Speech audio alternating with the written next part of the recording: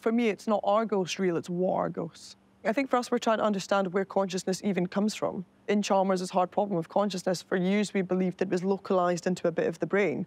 And now we believe that actually it might be smaller than that.